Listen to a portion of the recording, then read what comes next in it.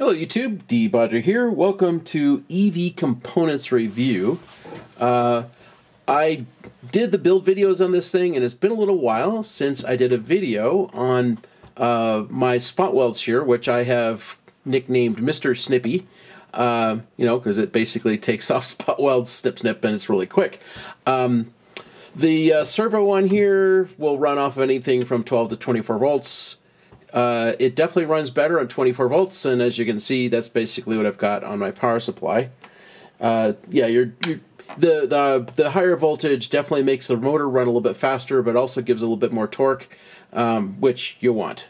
Uh, anyway, anyway, so yeah, 24 volt power supply, and they don't have to be anything special. You know, that's just a a DROK, uh, whatever power supply that you didn't get on Amazon for whatever they're 24 bucks. They're not very much money, uh, and that's good enough.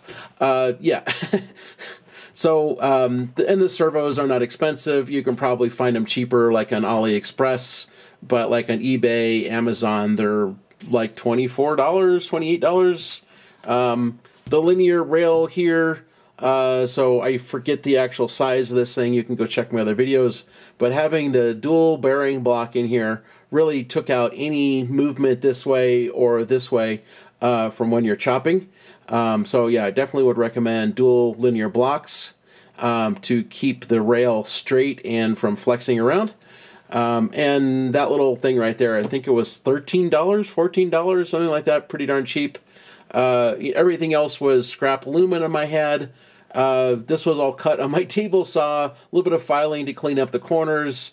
Uh, same thing with this, you know, I cut that on my table saw, drilled some holes in it, needed a tap so I could tap some threads in the aluminum, and that's pretty much it. The tools involved are pretty simple. You know, cutting out this spot right here, you know, that make the little bridge like. Yeah, I did that on a bandsaw, but you could do that with a hacksaw. I could have cut it on the table saw, you know, uh, filed the corners when it was all done, cleaned up the space to make it neat and that's pretty much it. This little piece of aluminum right here, um, I actually found it mostly bent that way. It had this part in it with this part being straight and that part, and so then I had to use put those in a vise and bend them over, uh, so I got that nice little shape that was then big enough in the right shape to hold my potentiometer in there for setting things.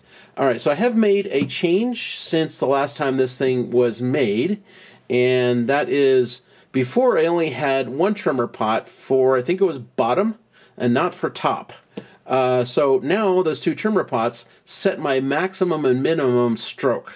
And then the main pot is everything in between max and min. Uh, and so all three of those potentiometers are all in series. Uh, you know, you're just simply taking part of the total strength length, strength length, and tying it up in a trimmer pot or in here. So as a result, now all the way down stops there. That was the way it was before with a single uh, trimmer pot, and maximum goes to there. And that's the right stroke length for 18650s or 21700. So this is an 18650. I dropped it in there. You can see it doesn't uh, go beyond or fall underneath, which was a problem before without the max. So yeah, sometimes I turn the knob too far and that would raise the uh, plunger or you know the linear rail too high. In which case, I could put an 18650 under the blade and then accidentally lower into it and cut right through a cell. Um, so yes, this totally eliminates that problem. And if I need to adjust it for some other kind of cell, like say, you know, because this is basically optimized for 18650 or 21700, but like if I had a 26650, I probably would need to adjust the length a little bit. So little screwdriver and I can adjust max and min, you know, top and bottom, and you know, fix that in like a minute. So uh, lots of adjustability, lots of consistency thanks to that, and definitely works pretty darn good. And then of course the main trimmer pot or the main pot, you know, is everything in between. And I did experiment with a push button, uh, which I talked about in a previous video for this thing, and I didn't like it because uh, all it would let me do was go max to min, max to min, which is most of the time what you want to do. But there are times when that's not the case. You know, you have a particular spot weld that's being cantankerous, and so you need to go rant, rant, rant, rant, rant, rant, on that one little spot several times. You know, with the push button, you're just going to get that to that every single time, that to that every single time. And that may not be what you need, not for like that one cantankerous spot that's spot weld that's not coming off. Uh, so anyway, yes, I like the pot better because it gave me the ability to just kind of adjust for that one little place where I got to do that from time to time. But admittedly, most of the time a push button would do the trick. So probably what I really should have done is uh, and min would have stayed the same.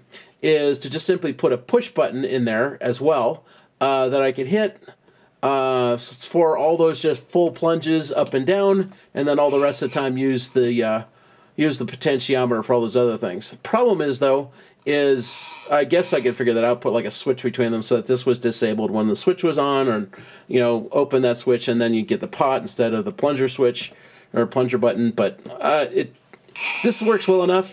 Don't really care.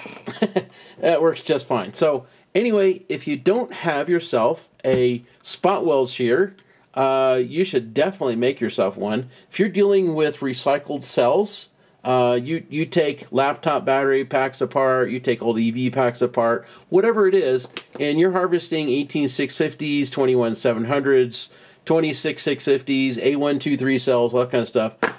This makes cleaning up spot welds just super easy, super simple, and super quick. Uh, definitely recommend that you build one of these things. Uh, I've seen people, uh, you know, basically do this, but try to 3D print it um, or use plywood. Uh, both of those things tend to be kind of flexible. Uh, they don't have the rigidity of the aluminum, um, but I've never heard feedback about how well those work or not. I can tell you this much this aluminum is nice and rigid, it doesn't move, it's nice and stiff, uh, doesn't flex. So, yeah, uh, the aluminum definitely was the right trick. I guess you could weld this out of steel or something as well. But, yeah, like here, there's no flex in it no movement this way. Everything is very, very rigid. Uh, the way this piece is bolted on here is uh, I've got six M5 screws that go through the bottom and thread inside here. So you'll need a tap for that, but that's not hard to get. And obviously I had to drill the holes. And er, all the rest of the holes were just simply drilled, nothing special about it, and then tapped. So M5, M4, you know, uh, pretty standard stuff, nothing really special there. Uh, yeah, and then of course I countersunk these holes. But again, that's pretty standard stuff. Nothing here is special tools. Nothing is complicated or expensive. Should be able to build this with hand tools almost. Uh, it's not that complex to make it and to get similar results to what I have. Anyway, if you're salvaging cells, you're you know scrounging packs for cells. Uh, this makes cleanup so much easier than everything else. You get really quick, consistent results spot welds shear off, you know, usually in like one stroke, maybe two. Uh, you know, 90% of the time, one stroke is enough. The rest of the time, when you got a cantankerous spot weld, you might need to, you know, shear that one spot two or three times to finally clean it up. But that's it. That's way better than everything else. And the end result is the cell top and bottom is very smooth, it's very clean, and ready to be re-spot welded with uh, new nickel. So yeah, folks, build yourself a Mr. Snippy uh, spot weld shear. Um, super handy for battery recovery. Absolutely super handy for that. Well, folks, uh, that's it. Just wanted to do an update on the few things I've done to this thing since we saw it last, since I needed to clean up a couple cells for a little pack I gotta make. I uh, hope to help some folks out. Take care. Talk to you later.